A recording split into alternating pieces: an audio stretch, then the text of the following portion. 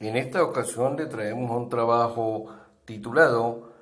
Herramientas de intervención social para la paz en zonas fronterizas y vulnerables desde las metodologías ágiles, presentado por la doctora Torcoroma Velázquez, el doctor Castro Silva y quien les habla, Libardo Flores. La intención es mostrar un panorama de lo que se vive en la zona fronteriza y por supuesto desde allí establecer un objetivo como en esta ocasión se plantea, que es proponer algunas herramientas de intervención social para la paz en zonas de frontera y de alta vulnerabilidad desde las metodologías ágiles en el contexto del eje fronterizo Cúcuta, Villa del Rosario, Colombia y San Antonio del Táchira, Venezuela, con la intención de poder, a través de una metodología mixta, que fue la que en esta ocasión se aplicó, analizar desde el enfoque secuencial y el análisis hermenéutico cómo confluyen elementos cuantitativos y cualitativos en este tipo de problemas. Y en tal sentido podemos señalar que se consideraron elementos teóricos que nos permiten visualizar las herramientas de intervención social, el contexto de paz, las zonas de frontera y por supuesto los fundamentos noxiológicos que recaen en las teorías del manifiesto ágil y la heurística, en la teoría de la movilidad fronteriza, en la teoría social, todas enfocadas o visualizadas desde lo que es el multiculturalismo y la sociedad cultural. Los resultados obtenidos fueron sorprendentes, se logra observar cómo va en aumento eh, elementos del crimen organizado, del narcotráfico, de prostitución, que por supuesto afecta el desenvolvimiento del hombre en las zonas de frontera y por supuesto altera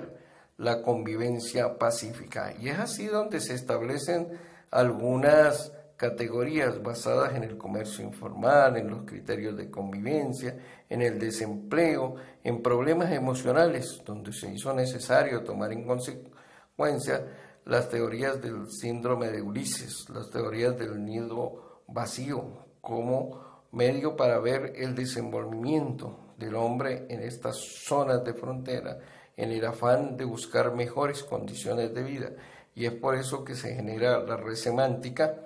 donde se observa cómo el narcotráfico, la prostitución, la trata de niños y mujeres, el contrabando afecta específicamente el desenvolvimiento del hombre y por supuesto altera la convivencia pacífica. Y dentro de esa alteración de la convivencia pacífica es que nos atrevemos a proponer cinco ejes fundamentales, convivencia, valores, educación, bienestar social y por supuesto salud pública, desde el punto de vista de las metodologías ágiles, incluyendo la ética del cuidado, el Scrum,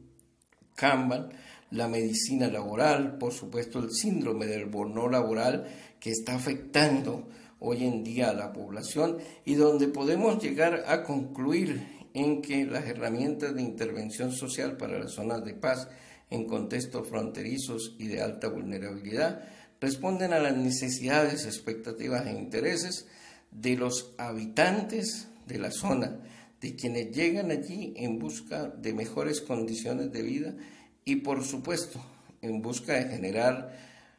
medios económicos para enviarles a sus familias y estos tengan mejores condiciones en el lugar de origen. En tal sentido, nos atrevemos a señalar lo que plantea Kennedy. La nueva frontera está ante